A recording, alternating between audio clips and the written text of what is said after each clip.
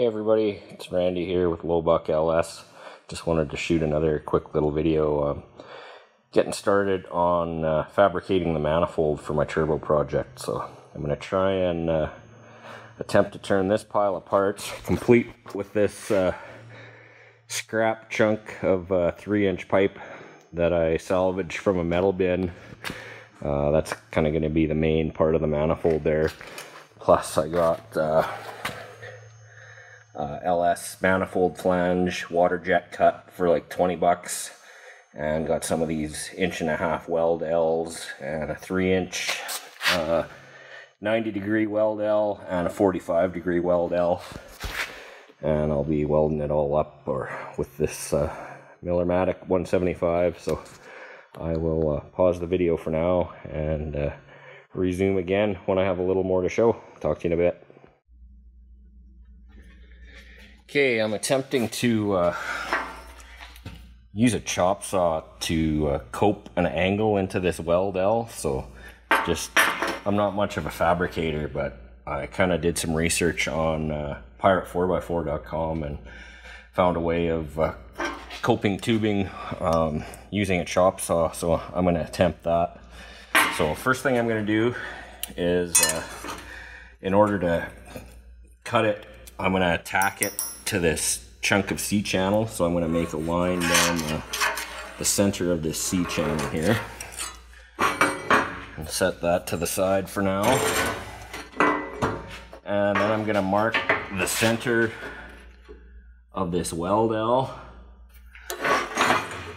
I'm not not used to filming, so uh, not thinking about having things angled for the for the camera, but marking the center of the outside of the weld L and the center of the inside.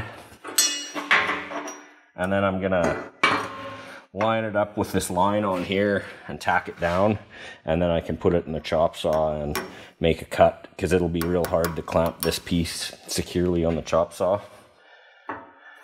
And I'm also gonna mark the center of the outside here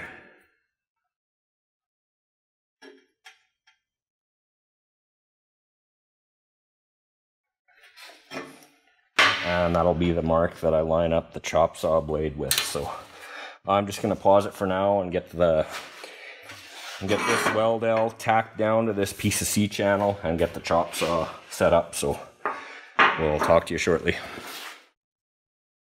Okay, so I'm ready to attempt to uh, cut an angle in this uh, inch and a half weld elbow and I'll show you guys a little program. I'll put a link to it in the description. I figured out if I make a cut that's at a 64 degree angle to the center line of the pipe, it should mate up pretty good with the three inch pipe I'm trying to cope it to. So um, yeah, I got her tacked to this piece of C channel and I got my uh, chop saw set to make a 64 degree cut. So I will make that cut and we'll see how it lines up with that uh, three inch main piece of the log manifold. So that's what it looks like after I made the cut in the chop saw. I'll just uh, grind it off of this piece of C channel and clean up the mouth of it with the grinder a little bit and see how it mates up to that 3 inch main piece. Okay, so I got that piece uh, off the chunk of C channel and cleaned it up on the grinder a bit and you can see that it uh, fits pretty good. It sits at a bit of an angle. I think I calculated like a 75 degree angle or something to the main pipe, and there's not much of a gap all the way around. So I think uh, we'll call that one good. And I'm to make two more of those. And uh, yeah, then I'll be ready to start welding. I'll talk to you in a bit.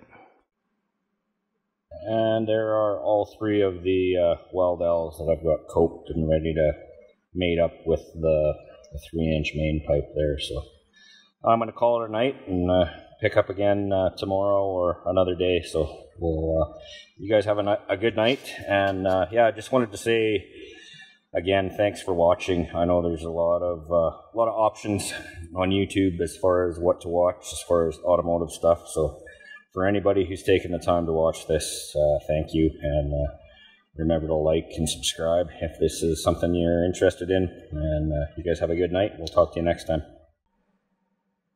And here's one more shot of how they're uh, basically going to sit on that uh, flange that I had made up. So